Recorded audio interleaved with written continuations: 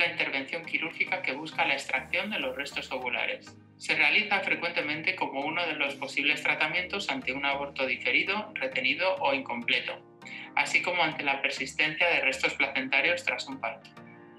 La intervención se realiza por vía vaginal y no requiere la realización de incisiones. Para la evacuación uterina se utiliza un material específico que busca la separación de los restos ovulares de las capas internas del útero. En ocasiones puede requerirse también un dispositivo que permite la aspiración de dichos restos. Previamente, se deberá dilatar el cuello del útero en quirófano de forma mecánica. Para ello utilizamos unos dilatadores específicos.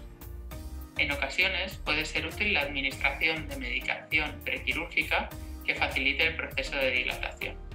Como toda intervención quirúrgica, tanto por cuestiones inherentes a la técnica como por cuestiones relacionadas con las características de cada paciente, el legrado evacuador obstétrico puede asociar en ocasiones complicaciones que requieran tratamientos médicos o quirúrgicos para ser solventadas, así como un mínimo porcentaje de mortalidad. Las complicaciones específicas del legrado evacuador obstétrico son la infección uterina, las hemorragias moderadas o severas, la perforación uterina y la persistencia de restos ovulares que requiera un segundo legrado. Una de las complicaciones que pueden ocurrir durante el legrado uterino, que no suele ser muy común, pero que, sí que puede, ser, eh, puede llegar a ser grave, es la perforación uterina.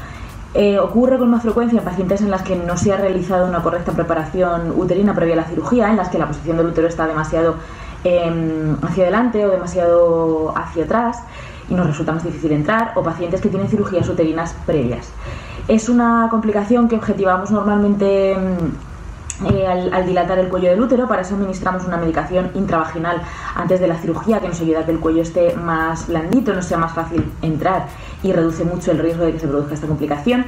Y cuando objetivamos que ha habido una perforación uterina, normalmente eh, lo que hacemos es parar el procedimiento y, no hace falta hacer nada más. Si objetivamos un sangrado o existe la posibilidad de que se haya lesionado alguna víscera, sí que habrá que intervenir vía abdominal, ya sea por una laparotomía o por una laparoscopia, para mm, solventar las, incidencias que haya habido y en un rarísimo porcentaje, eh, si no se consigue cortar el posible sangrado que puede ocurrir tras esta complicación, sí que habría que acabar en una esterectomía obstétrica.